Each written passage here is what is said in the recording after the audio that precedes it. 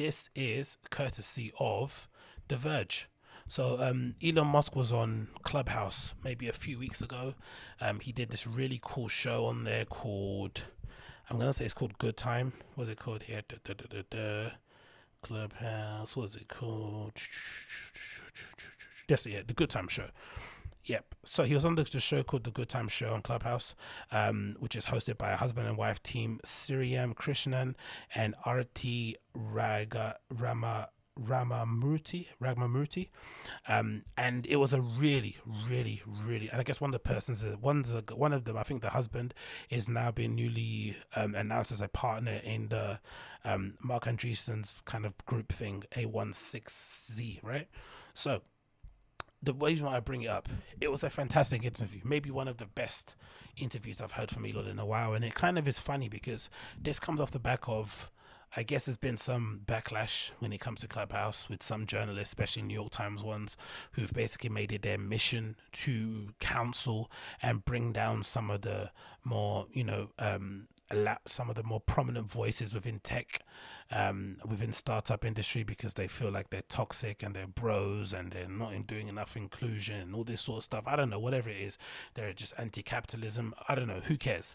But regardless of the nature, it has kind of breeded, uh, it has kind of breeded an environment in terms of media where there does seem to be a bit of an adversarial relationship between some of these really amazing inspirational figures that lead these companies um, and some of the interviews I've been having, which kind of leads to a shitty interview for people like myself to watch and listen to or read. Um, I think the the journalist Nellie Bowles that's kind of um, going out with uh, Bari Weiss for the New York Times, a lady who I think is most kind of partly responsible for Jordan Peterson's uh, you know, uh, breakdown because she was the person that kind of led that whole enforced monogamy thing in 2018. I remember she read the article for New York Times and basically, um, you know, basically a hit piece on Jordan Peterson, even though she acted like he was her friend and she was writing a good fluff piece on him, went on tour alongside with Dave, Dave Rubin and Jordan Peterson and ended up kind of stabbing them both in the back. Um, and I remember she said something on Twitter, which she ended up deleting about, oh, um, this Elon Musk interview on Clubhouse was a real softy, softy thing. Journalists need to be in a room so they can press the in, the, in, the the person's getting interviewed a bit more and get some really hard hitting questions instead of kind of lapping them up and just you know being their cheerleading. And I thought, no, actually, this is why people kind of are more prone and are more kind of drawn to podcasts because in the most part a long form podcast is very difficult to have like an adversarial kind of you know um, i'm trying to take you down interview when you're sitting down with somebody for an hour or so. Um, you know you might kind of come into it with one idea and then you come out of it with another because you've got time to actually sit down and speak to the person um, hear them actually flesh out their ideas uh, speak about their experiences where they're coming from how they think and it kind of gives you a bit of an, an idea. And again, most podcasts I listen to, the best way to actually make your own mind up on a person is to actually just let them speak. You see that happening with Candace Owens, where she appeared on Joe Rogan, right? A lot of people kind of were able to kind of suss out that she's a bit of a dum dum because Joe Rogan just basically let her speak and kind of twist us off in circles. You saw the same thing happen with Dave Rubin. So this idea that you have to kind of be um, have a competitive relationship or interview in order to get the best um, out of it is really dumb. I've never really understood that. I kind of I've really I've I've always hated which is why I've never been a really big fan of the Kara Swishes of this world, right? Who kind of sits there in her aviator glasses and has this weird persona that she's the brittley um, journalist that's going to push back and give these guys a hard time. It's like we don't care. We're here to find out about what new products they have, maybe kind of answer some questions that we had burning in our heads, and just hear them speak because you you rarely kind of hear them speak in that fashion. But I thought this interview was really good. Um, the Verge did a really cool roundup regarding all the things that happened. I'll quickly read out here. Um, it says the media venture capital wars are buzz this weekend for the advance of, during, and after the appearances of um, Musk in a not so quite one year old audio social network. Musk is not the uh, recluse. He gives interviews to more or less regularly, but his arrival on Clubhouse served as a validation for the company and the idea of live interactive audio streaming generally. Now, I already said before, I'm not really a fan of Clubhouse. I'm not. I haven't really spoken in one room. I've listened into a couple of things here and there. I don't like the idea that I have to kind of tune into it like I'm tuning into radio. Even though, again, I was a big fan of radio back in the day, the idea that I have to kind of you know, set my clock and find out what time it is in America to be in these rooms is just annoying. Um, it's the reason why I kind of switched over to podcasting for the most part because you can listen to it on demand whenever you want. But hey ho, you continue.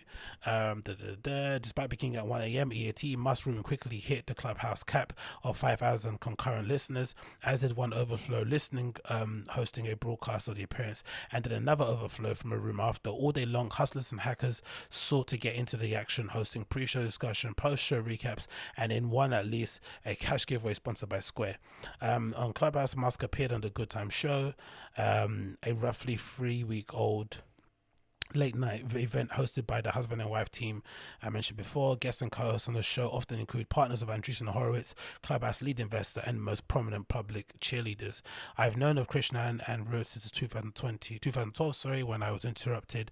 Um, their coffee date at the Cream in San Francisco continued, blah, blah, blah. The tone of the show is lightweight by design. Successful tech people getting together after they put their kids to bed to discuss the news of the day without ever being too critical of anyone involved. It's uh, in, uh, um, in this aspect, the show is totally consistent um, with the mission of Andreessen Horowitz laid out last week. And the spokesperson announcing that it would create its own media company, aspiring to be the go-to place for understanding and building the future for anyone who's building, making, curious about tech. And that's, I think, is the most kind of wholesome and great bit I love about the show and I love about that interview in general.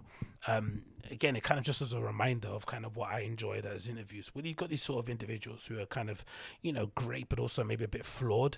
Sometimes the flaws in them are basically, you know, reported already by most parts of mainstream media. You need to provide them, I feel like, with an opportunity or a space that they can go to where they feel comfortable enough to speak about the good because the bad is always going to get highlighted by whoever wants to highlight them. And it's interesting that the more that we've kind of seen Clubhouse be prominent, the more we've seen the more controversial people you would imagine in society kind of flock to it because they've seen it as a safe place for them to kind of be able to speak freely, which is kind of, you know, um, contradiction when you imagine what Taylor Lorenzo was trying to do a couple of weeks ago. But essentially, it's kind of proved um, the fact that a lot of these big figures in tech or people in general have kind of grown to distrust mainstream media. And they're slowly but surely pulling themselves away which is why you're seeing a lot more of these big people talking on places like twitter you know putting up instagram lives you know going on podcasts whatever it may be. They want to go directly and speak directly to their people to their audience or to people you know who are fans of them instead of you know using the media the mainstream media as a platform to speak because you know your words are going to get twisted